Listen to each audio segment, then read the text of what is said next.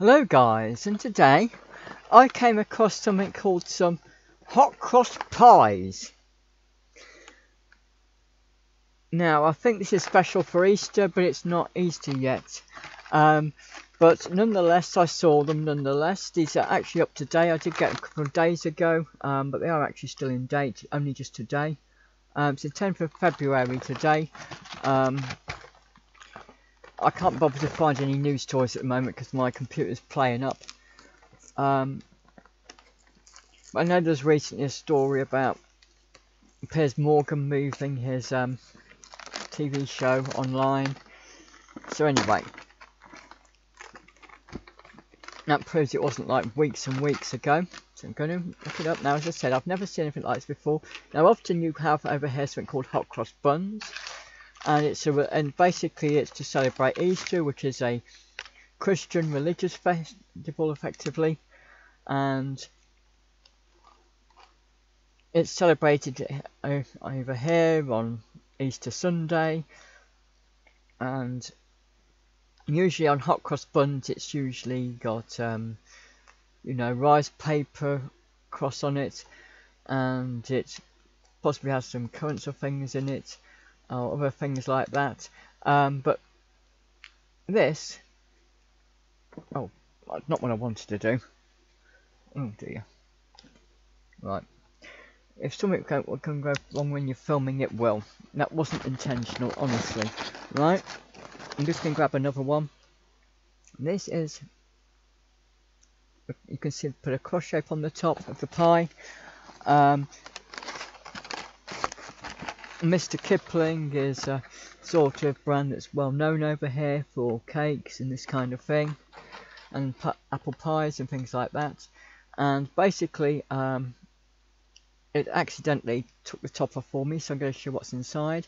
It look, it's meant, it looks to me like a cross between an apple pie and a mince pie. Okay, it looks like they combined the two. Okay, which I've never seen done before. I don't think. To my knowledge, I've never seen anything like this before, but I could be wrong, right?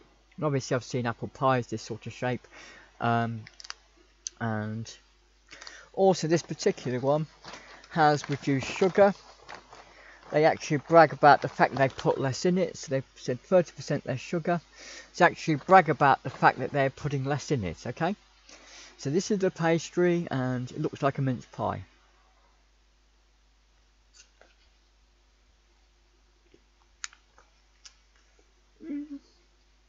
Strange. I'd say it's really not one or the other. The trouble is they're trying to be clever, I think. But it tastes neither like an apple pie nor a mince pie.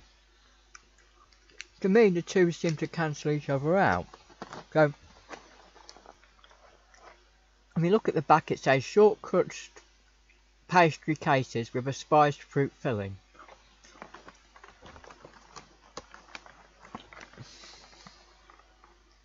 The back.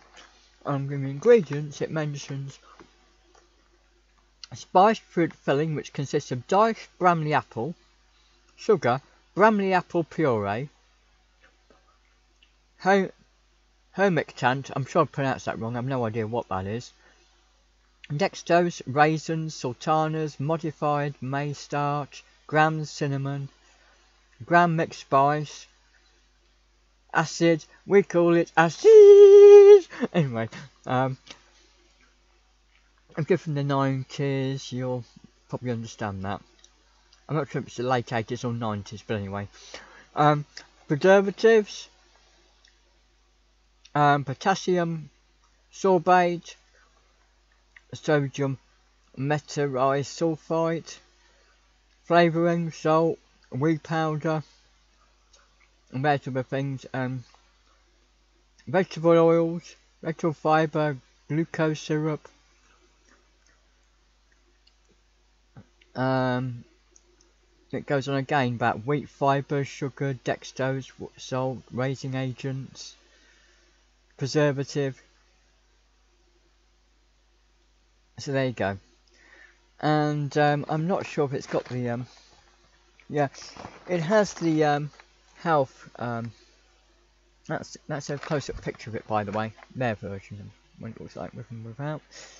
And here, we've got the traffic lights um, health um, system where it tells you how healthy the food is, not whether it's going to kill you or anything, but you know, like um, how much salt it is. So it's very green in the salt area, and um, it's low in the um, energy section. It says 10%. I don't know. They haven't put a colour on for that.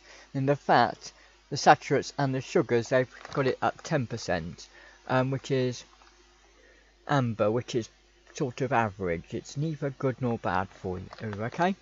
Um, you can get food over here which is red, it's for people who like it, you know, I know maybe very sugary foods or something, but you know that when you buy it, okay? So yeah, um,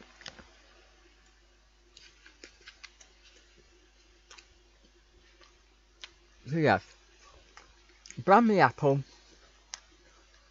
um, combined with mince pie, in my opinion, to create something called a hot cross pie. Now, I try to put this some of the in sometimes if you're putting them in a hot cross bun over here with apples, and normally you wouldn't get apples in a hot cross bun. So, I've had a bit more of it. It doesn't taste so bad actually, but I think I just think it's not quite one or the other. They've tried to be too clever, and it's not quite one or the other, unfortunately. But there you go, guys. I paid full price for this um, because I was so surprised by it. I just had to find out what it was about and what it was like. Okay. So, thanks for watching, guys. Bye.